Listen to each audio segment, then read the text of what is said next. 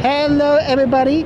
Chris Rice Killer here at PAX East 2022 with Toby. How are you doing today? I'm doing very fine, but I can't look forward to Sunday because then it's finally over. uh, it's so exhausting. It's cool, but it's very exhausting. Yeah, it can be exhausting, yes. And um, we are checking out the last Oricru. Exactly, the last Oricru, like original crew, the last Oricru. Okay, so tell us a little bit about the world of this game. So the last Oricru takes place on Wardenia, which is like this sci-fi medieval world. It's an alien planet, and you wake up as one of the few humans. You don't know what you're doing there. You don't know why you exist, but you will be torn into a civil war where you have to choose sides and kind of decide the fate of the entire planet. You can either try to befriend everyone, which is pretty tough to be honest, or you can be we be, very aggressive towards every- everyone and everyone will hate you. That's really easy, like real life.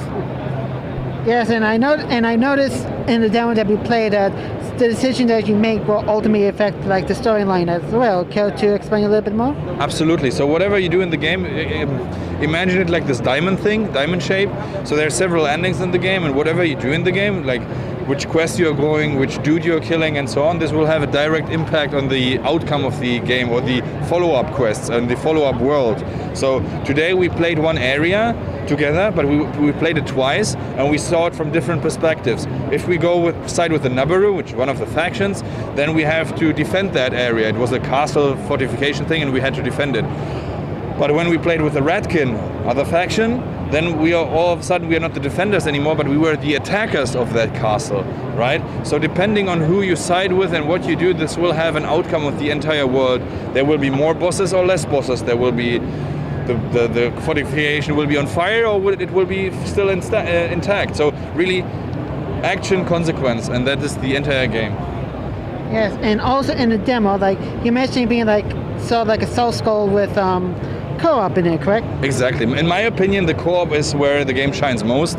So it has all those co-op elements where you, of course, you can revive each other. You can you share the same inventory. You can fight and hack and slash together. But there's also special elements in the game. We have, for example, weapons where. As an example, you can you can zap your friend. I can zap you. We did that together. We I zap you. We, it, it creates this this uh, link of, of lightning, and if we if we catch anyone in between, we zap them. And if we coordinate and walk through the map like this together, we can zap all those people and work together and be happy folks. So I think it's very satisfying to play the game like that in co-op. But of course, it has a big single player as well. The co-op doesn't make the game easier per se, it just gives another perspective to the game. And right now there's uh, offline co-op like split screen, but uh, on release there will be online co-op as well.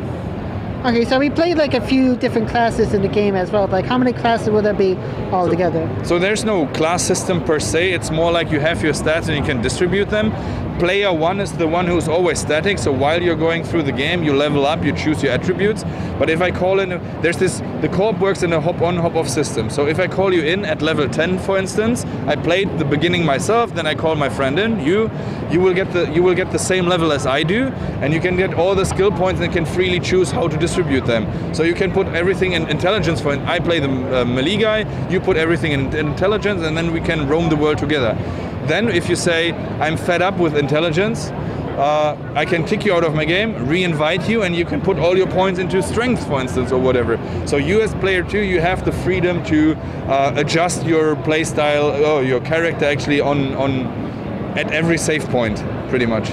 Right, um, we were playing on the PC version. Um, will this game be released on any other platforms as well? Exactly. So we were playing on PC today, and the game will release on PC, obviously, on PlayStation 4 and Xbox Series X. And the release date is not uh, final yet, but we are looking uh, into the end of this year of uh, 2022. Well, I'd like to thank you very much for your time. It Really, was a pleasure. Thank you very much. And you played really well, by the way. He's a he's a pro Souls player, so thank you very much for carrying me through the uh, last Oricru. uh, no problem. and keep it right here for more PAX East coverage.